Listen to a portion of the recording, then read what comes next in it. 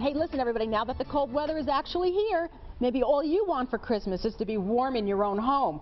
Mike Washington and Russell Boyle are both here from Ivy Lea Construction, and they can help with that no matter what your needs are. So good morning. How are you? Good you? morning. Thanks for having us back. Russell. Nice to have you guys. Happy Thanksgiving. Happy You too. Thanksgiving. Thanks for having us. You know, I'm thinking with, of course, it starts Hanukkah tonight. We have holiday gift giving, Black Friday.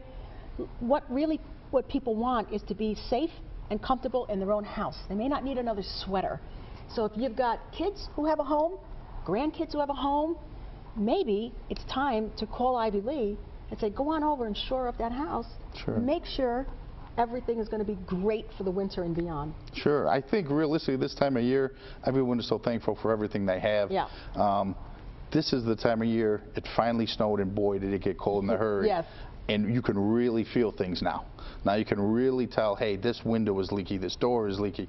We don't have any insulation in our walls or attic. You might not even know. It might be a new house. Mm-hmm. Yeah. Um, uh, we can definitely get over there and take a look and see what's really going on in your home. We have some pictures, and I think we're going to start from the top because I think we have uh, attic insulation. And take a look at how thick this is now when this goes in.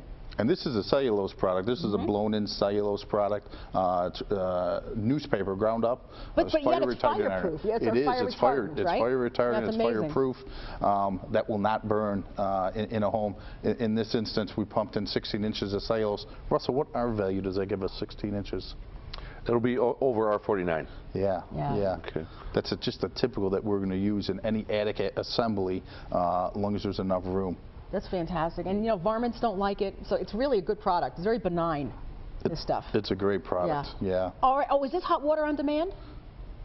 This is hot water on demand Okay. and a boiler all in one. No kidding. Yeah, so there's a couple different zones there. Mm-hmm. Uh, if you see the zone valves on the left of that picture, uh, hot water's heating the home, and then also you have a zone that's actually going to take care of the domestic hot water. Uh, it's, a- it's a fantastic unit. The efficiencies on those are, are 90 plus, 95 plus that we put in, uh, and it's going to take care of the whole home. It's not just for one thing or another. So now you only have one combustion unit, and it's only working when it's getting called to, specifically on the hot water side. So it's that not replaces the, the water big hot water tank on the floor. Exactly. Now it's up against the wall. That's nice because you know you may want to do something with that space in the basement. Exactly. It frees up a lot of space, and, and the efficiency of it's huge. Now you only have one fuel-burning appliance opposed to two. Oh, all right. I think we have more insulation. We want to see because, you know, you almost can say no house can really have too much. Now, is this a ceiling again? This is a roof project Oh, that roof. we actually took apart the plywood on top of that roof, if you see. And Oh, there's yeah. actually spray foam that got sprayed into those cavities. All the fiberglass got removed. Um, you see that pink piece, there's a baffle that you actually shove in, Mm-hmm. and then you can actually spray in the, the two-part foam.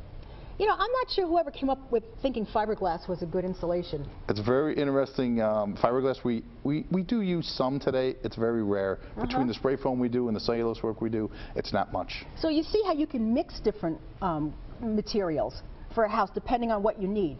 You don't have to go all foam. You know, sometimes, like you say, cellulose might be called for here, foam might be called for there. That's correct. Every every house kind of has their own personality, and Mm-hmm. it, it depends what uh, each person is doing with a certain space in the home, uh, and depending on you know, what we're going to need for certain areas, and the auditing is going to determine that. Yeah. Let's uh, let's uh, take a look at the spray foam because that's pretty cool too. Look at how this stuff just just gets huge. You know, once you you, you put it in one spot, That's it a fills two-part up all the cavities. Yeah. yeah, that's a two-part foam. That's actually a rim joist. So you see the white part, that's the top of the foundation. From there up to the floor is a spot on the, in the basement of your, of your home that's usually not insulated properly. There's fiberglass there. We call that filter glass. It's not doing anything but filtering air. If we can control the air movement with the two-part foam, you have it knocked, and that's what that's doing there. It actually gets into every nook and cranny. There's no way air can penetrate through that rim joist anymore. I thought that was a rim joist. There you go. But what I do know, these guys can help you. Ivy Lea is the best. Ivy Lea, give them a call, log on, and you know what? There's always some great deal on your Facebook page. So it's really always worth it to go to the Facebook page and find out because you know what, folks? The job can be less expensive than you think, okay? And these folks are going to work with you. So think about this for the holidays and beyond. This is something your family can really use to be safe and to be cozy all winter long, which we know is a long time in Western New York. Ivy Lea Construction, these guys are the best, 875-8654, or log on to ivyleaconstruction.com.